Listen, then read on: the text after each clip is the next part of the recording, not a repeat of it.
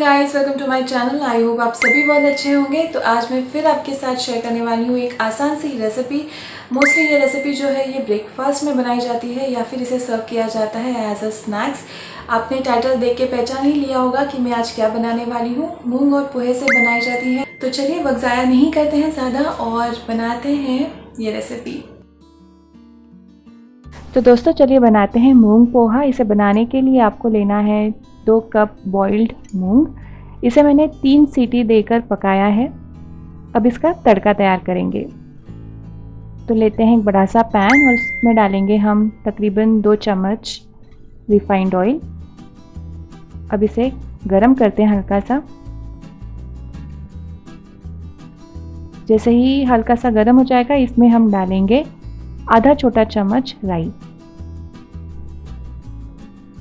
अब डालेंगे इसमें कुछ करी पत्ते और ड्राई रेड चिली अगर आपके पास सूखा लाल मिर्च नहीं है तो आप हरी मिर्च का भी इस्तेमाल कर सकते हैं।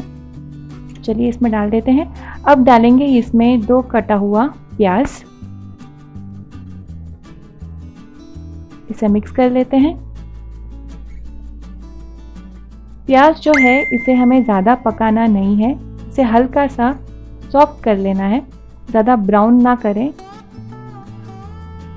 बस एक दो मिनट में ये पक जाएगा।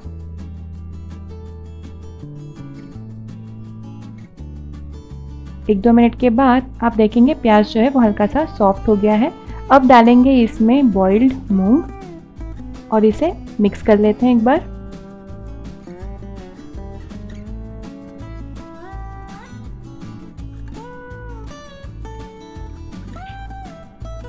अब डालेंगे इसमें गुड़। अब गुड़ जो है वो आप, आपके टेस्ट के हिसाब से कम ज़्यादा कर सकते हैं। मैंने यहाँ पर इतना ही लिया है।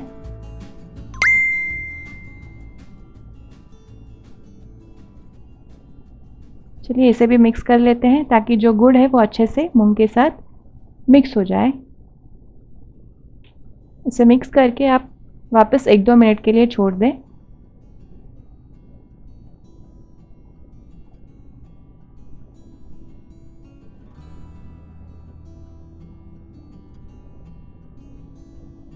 एक दो मिनट के बाद हम इसमें डालेंगे नारियल।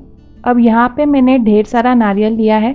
अगर आपको नारियल ज़्यादा पसंद नहीं है तो आप इसे स्किप भी कर सकते हैं या फिर हल्का सा नारियल डालें, क्योंकि नारियल से टेस्ट काफ़ी अच्छा आता है। और डालेंगे इसमें थोड़ा सा नमक। मूंग को पकाते वक्त मैंने ऑलरेडी इसमें नमक का इस्तेमाल किया था तो यहाँ पर मैंने बहुत कम नमक डाला है। सभी चीज़ों को अच्छे से मिला लेते हैं वापस। बस हल्के हाथ से मिलाएँ, वरना जो बॉइल्ड मूंग है वो मैश हो जाएँगे, फिर खाने में मज़ा नहीं आएगा। अब डालेंगे इसमें पतला पोहा। आप जाड़ा पोहा नहीं इस्तेमाल कर सकते यहाँ पर।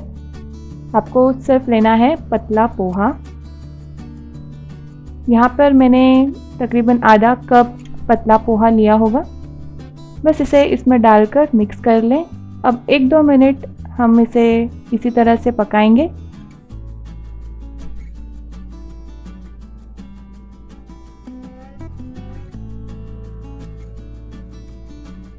तो एक दो मिनट के बाद ये रेडी हो जाएगा।